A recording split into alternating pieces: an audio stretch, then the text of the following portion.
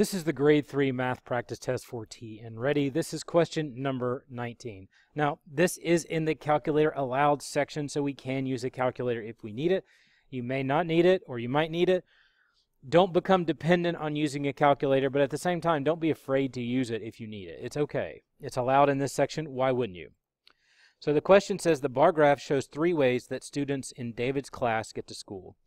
They either ride the bus, they go in a car, or they walk how many more students ride the bus than ride in a car and walk combined? So before I do anything else, I'm just going to try to break down how many people do each thing. That makes sense, right? So for the car, it's easy. They're right on the line. So I just go to the top here, move over, and it's an 8. So for car, I'll just put 8. For walk, it's a little bit more complicated. This is not super complicated. All you have to do is it's between 4 and 6, so just count one, two, three, four, five, six. Since we can assume that they're just one apart each if it's in the middle, so that means the walk value is between 4 and 6, which is, of course, 5. For the bus, 2, 4, 6, 8, 10, 12, 14, and then a little more. So it's somewhere between 14 and 16. So I may say 10, 11, 12, 13, 14, 15 and it doesn't get up to 16, so we can assume that the students that ride the bus 15.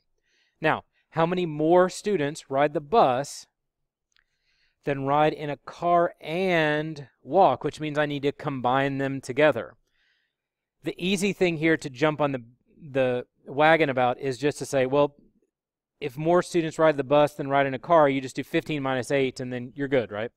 Well, no, because you have to combine them first. If this were if we were going to do parentheses and such, we want to start with more than, in this case, uh, we're going to figure out what's left over. So we're actually going to subtract from the original amount. So 15 minus 8 plus 5. So 8 plus 5 would be 13. And if you don't trust me, just check it out in your calculator if you want. That's fine. And then all I need to do is see how many more students would be in the bus group. So I'm comparing 15 and 13, and the best way to compare in this case is subtract. 15 minus 13 equals 2. So my answer to this one is M. And I may put an M there to remind myself when I carry it over from the paper to the answer sheet that I don't make a mistake. I used to do that all the time when I was young. So if I look at some of the different answer choices, just to see why they would put them there. The 28 is basically where they just added all the numbers together.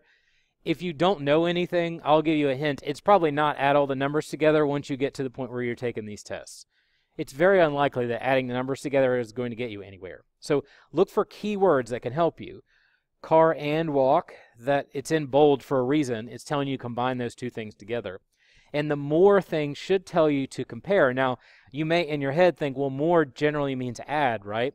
It does, but it's not how it's being used here because they want to know how many more are in one group than the other. So what they're looking for when they say more between two groups is the difference.